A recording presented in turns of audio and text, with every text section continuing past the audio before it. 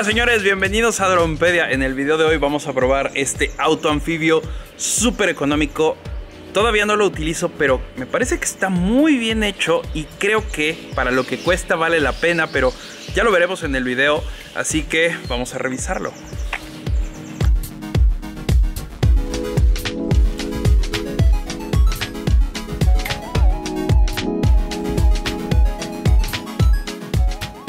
Jet 1803 llega en esta caja y no sé, se me hace muy bonito, bueno, por lo menos en las imágenes y en vivo parece que está muy bien y este es uno de los más económicos que hay.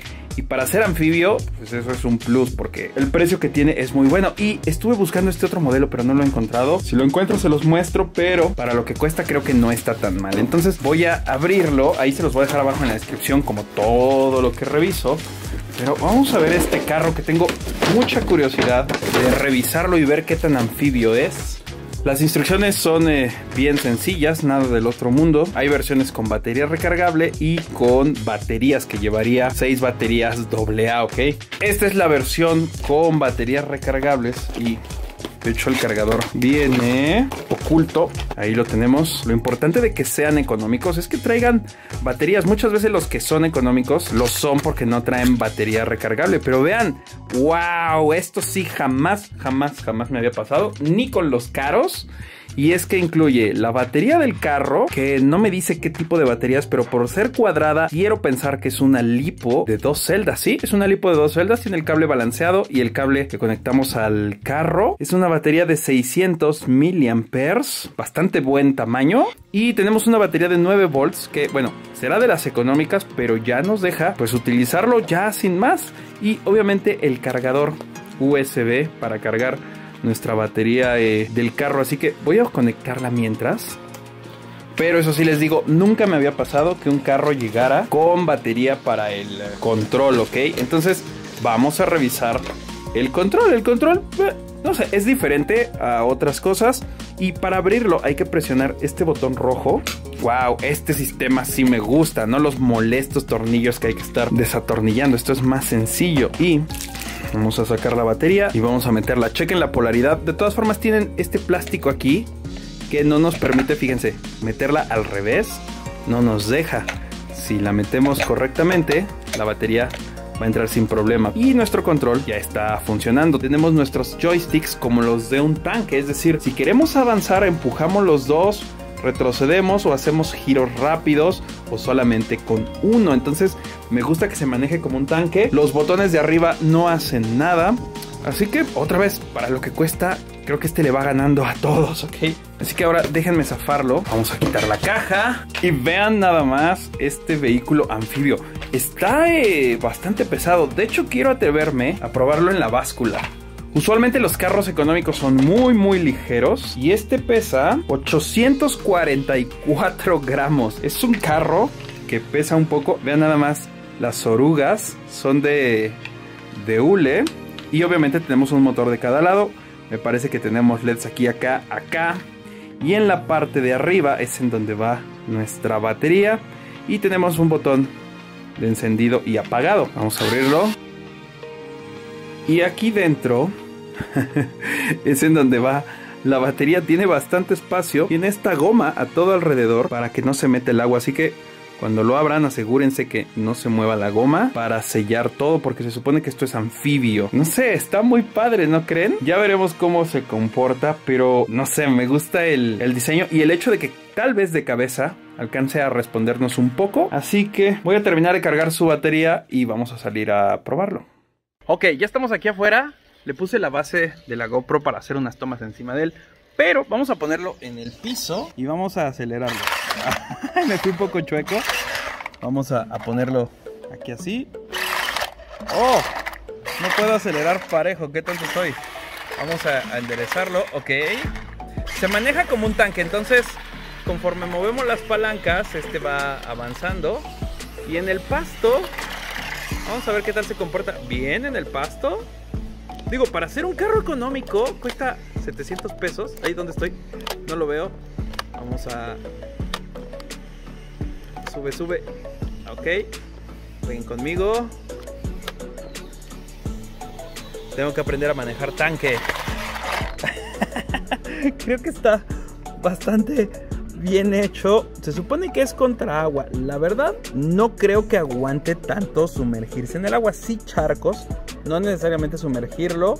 Eh, no lo voy a meter a la alberca, pero creo que sí puede aguantar un poquito de salpicaduras. Digo, por lo que cuesta, es por lo que creo que, que no creo que aguante tanto el agua. Eso sí, el botón de encendido y apagado está cubierto con hule y ya vimos que el sello de la batería también está cerrado. Entonces, pues eso debería de ayudarnos, pero ya aquí en las llantas, en los ejes, no sé qué tan bien hechos estén esos sellos, pero vamos a hacer un giro rápido.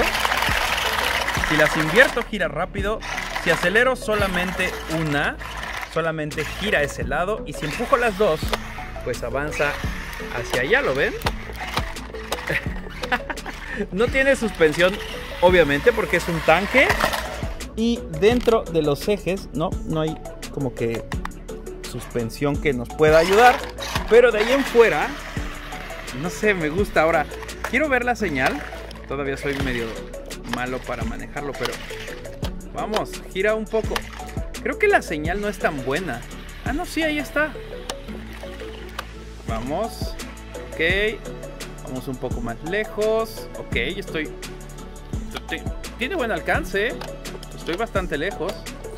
Y es controlable esa distancia. Vean. Solo que vamos solo un lado. Ok, no. Gira hacia acá. ¡Oh! Vamos. Exacto. Ahí lo tenemos de regreso. Entonces, eh, no sé señores, se me hace muy divertido este tanque. Creo que para lo que cuesta hasta el momento, este es el rey de todos los carros económicos que he revisado. Simplemente es barato, es bonito, tiene fuerza para andar en el pasto por lo menos. Y eso sí, como en todos los económicos, no vamos a encontrar eh, muchas refacciones de él, pero bueno, para lo que cuesta creo que vale la pena. Así que chequenlo, ahí se los voy a dejar abajo en la descripción. Vean nada más, qué bonito. Vamos a andar de este lado. Déjenme, hago una prueba.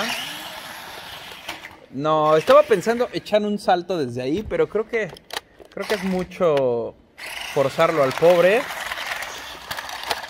No sé, de todos los económicos que les he mostrado, este es el que más me ha gustado. Vean, es muy muy divertido.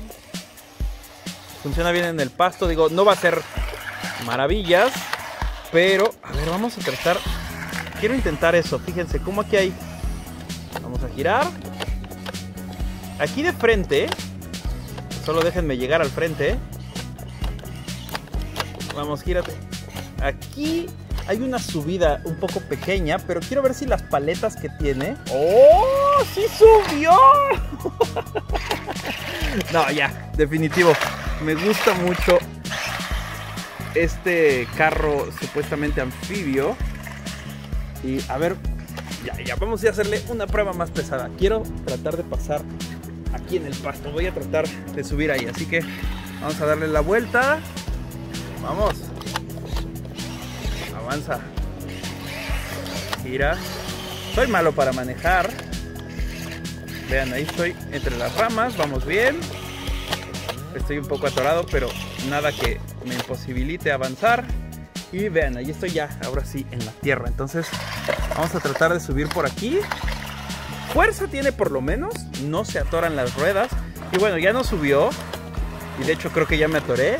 Pero eh, el hecho de que las orugas no se atoren es lo que me gusta. Así que como no pasó, vamos a echar un salto.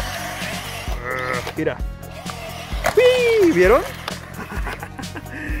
Así que señores, chequenlo ahí se los dejo abajo en la descripción. Ven donde está el pasto un poco más crecido, como que no quiere avanzar. Ahí está.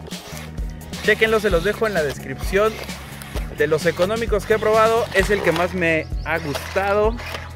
Y está barato, o sea. Y el envío también porque la caja no es tan grande. Así que cuéntenme qué piensan sobre él. Chequenlo ahí abajo en la descripción. Y pues bueno, recuerden que esto es Drompedia y nos vemos en la próxima.